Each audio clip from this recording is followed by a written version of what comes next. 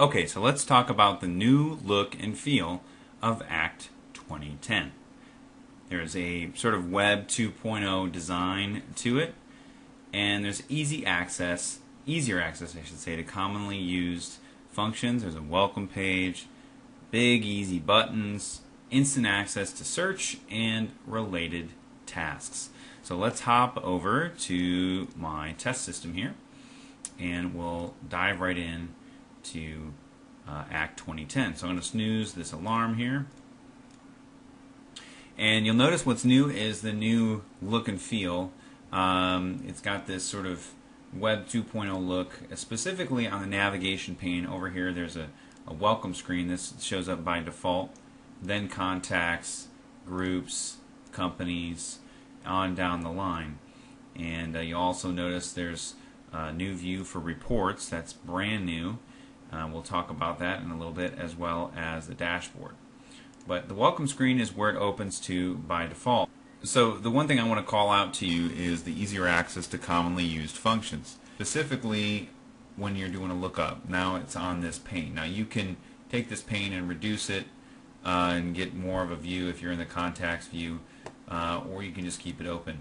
Now if I go in here and I just type Benny Lender it takes me right to Benny Lender's contact record here in the database.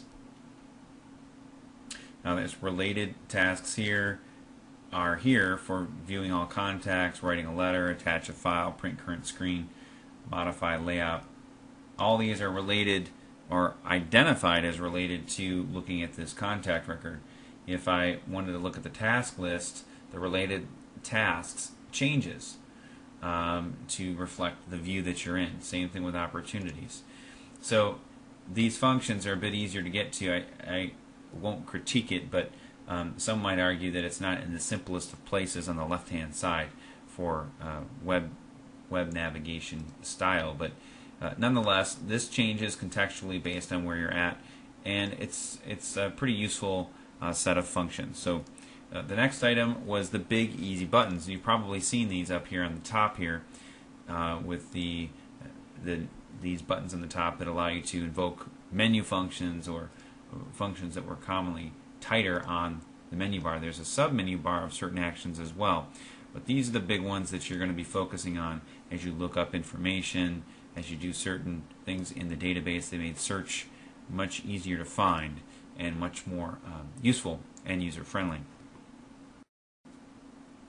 Alright, so we talked about instant access to search and related tasks. Let's move on to the next area of what's new in Act